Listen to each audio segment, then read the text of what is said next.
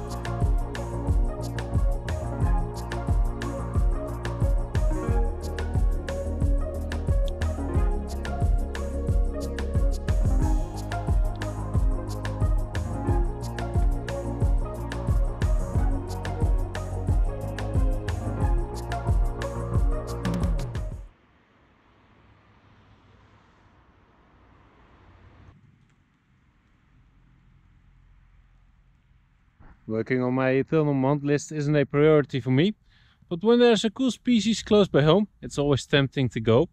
It is accompanied by a couple of common stonechats, which is also a species that winters more and more in the Netherlands.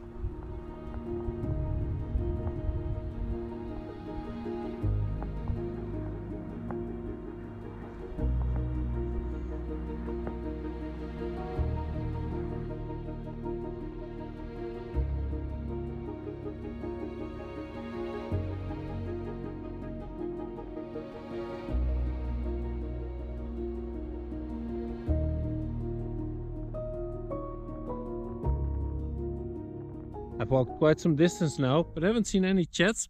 So let me first tell you about the biggest change uh, for my channel in 2024. As you've noticed in my latest videos, I'm going back to English, just like I started my channel. Sorry, you can hear my daughter on the background. She's playing uh, with a pacifier. But uh, where was I? Oh yeah, the biggest change for my channel in 2024 is that I'm going back to English because the English language has a much greater reach than the Dutch language. For the upcoming videos I will make custom Dutch subtitles and see in the statistics how much they are used. If they are used much, I keep on going through with that, but if not, then I may skip those in the future.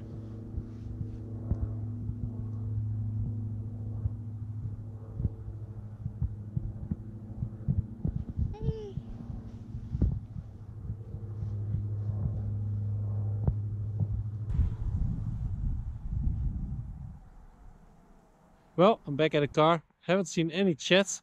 I thought I heard a common stone chat, but wasn't sure. So let me tell you about the other thing for 2024, the Patchwork Challenge. The Patchwork Challenge has been going on for a couple of years in the UK now. But last year some Dutch birds participated and I thought, well, we can do it also next year in the Netherlands. So what you have to do is uh, get a local patch, maximum of 10 kilometers from your house, of maximum 3 square kilometers you have to bird that intensively next year and try to find as many birds as you can. Hopefully some very rare birds will be seen. My daughter had enough of uh, the stroll, so I've decided to go home. But first I'm going to do a round in the Onlanden to show you parts of my uh, patch for the Patchwork Challenge for next year. Here you can see my patch for the next year.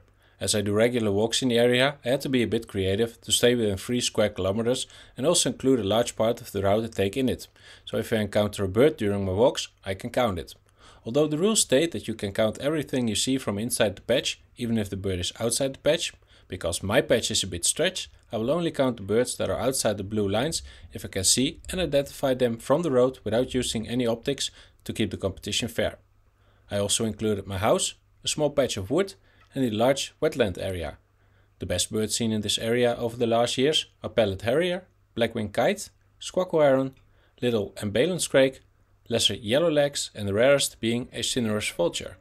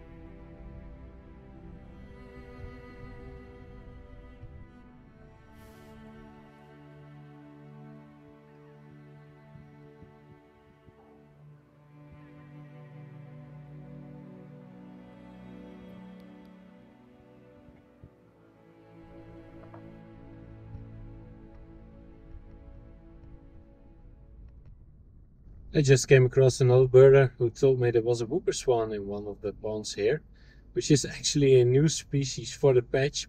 So let's hope it'll stay till next year so I can add it to the patch list.